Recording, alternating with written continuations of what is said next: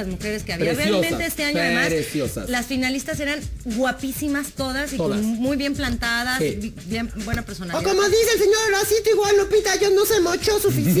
Bueno, también, Ahora, el pero- concurso de, de Miss Universo lo hicieron en un salón que parecía una fiesta del Club de Leones. ¿Vieron lo que era eso? ¡Qué chafé de programa! Pero bueno, Fue en las. Bahamas.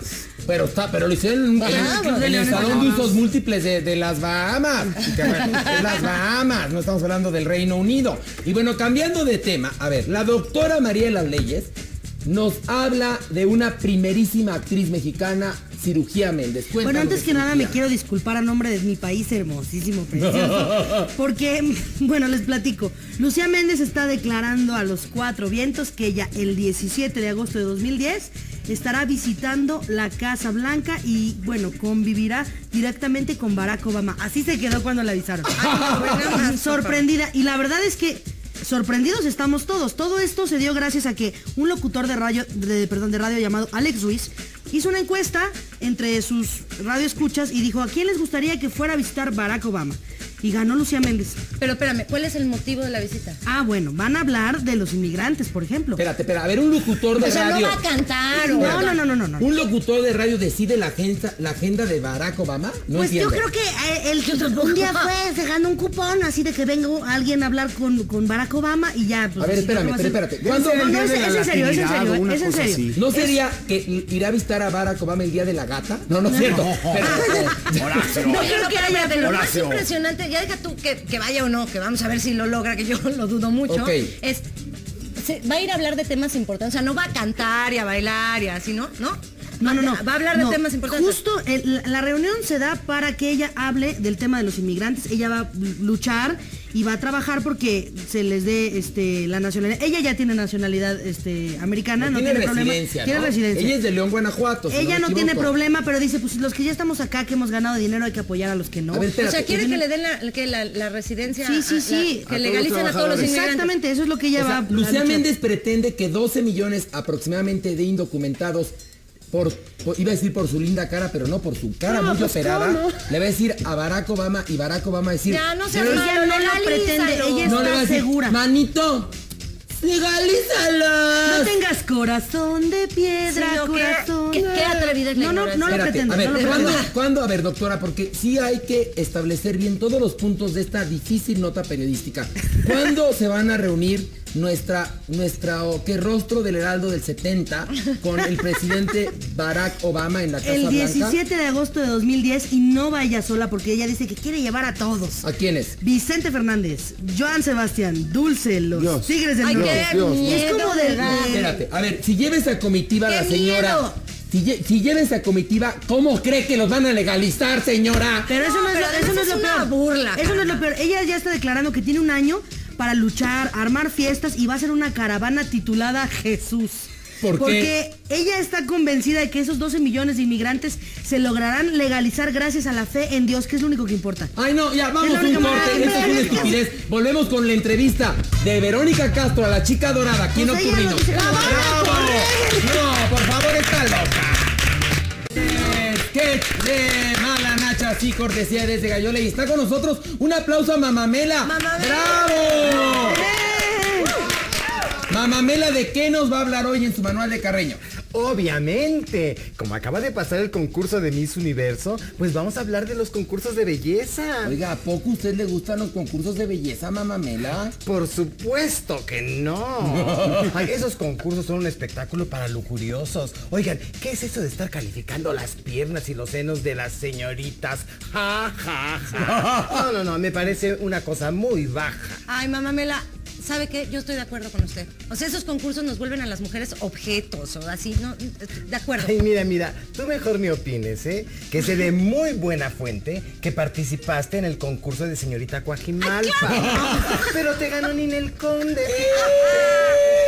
Uy, ahí eso duele. No, mamá, a mí la verdad es que los concursos de belleza sí me gustan, me parece que son muy padres. Incluso es el sueño de muchas mujeres y me incluyo. Si yo hubiera tenido tiempo, hubiera entrado a uno y me las como a todas. Bueno, ¡Échale! de eso estoy completamente segura. Gracias. Mira, si tú hubieras entrado a un concurso de belleza, te hubieran puesto a dieta. No, y con el hambre que se carga, claro que se las hubiera comido a todas, pero en tacos. No, no, no, si tú con hambre debes ser hasta caníbal, antropófaga. Mamá, mira. Es antropófoga. Ay, antropófaga. Ay, pues ya sabes que me pone de nervios esta niña. A ver, La Mamela, pongo de por favor, cálmate. Yo te quiero contar. A ver. Mira, los concursos de belleza unen a las naciones y no solamente califican el físico de las señoritas, sino que también su talento e intelecto. Yo por eso las apoyo. Ay, no seas hipócrita. ¿A ti qué te va a interesar el talento y el intelecto de las mujeres? A ti lo que te interesa son las nalgas. No, ¿en qué te basas? ¿En qué te No basas? creas que no te he descubierto cómo me desnudas con la mirada cada vez que llego al programa. Mira, solamente Me te digo una cosa. Antes que nada, soy una señora decente que vive sola y duerme casi desnuda.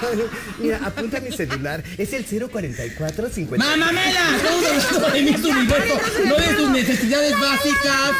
O sea, Mi abuelito en bikini, mi abuelito en Los bikini. concursos A son para prostitutas.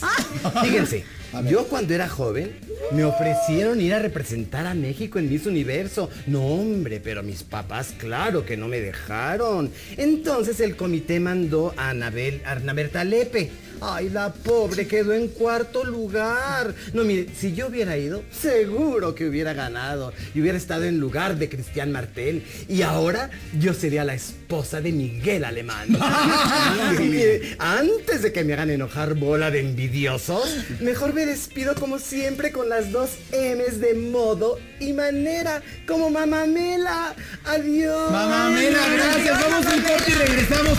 Mamamela era con Anabeta Lepe, usted concursó. Sí, era Y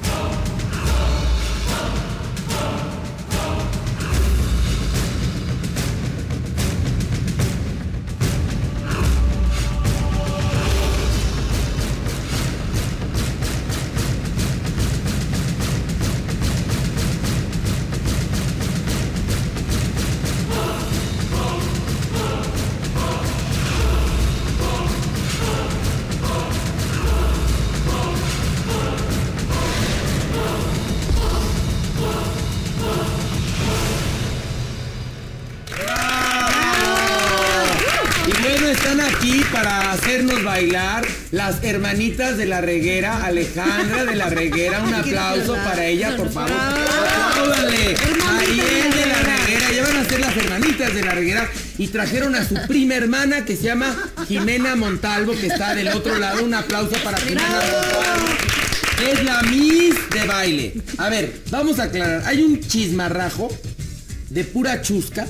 A ver, cuéntame, porque hay una pelea. Si Michael Jackson era asuntos de pederasta, pero también de dinero, pero también de paz, ahora viene a ser en, en este año guerra aquí en México. La manzana la Porque estas mujeres han hecho, han organizado para el próximo día 30 un baile precioso en el Ángel de la Independencia.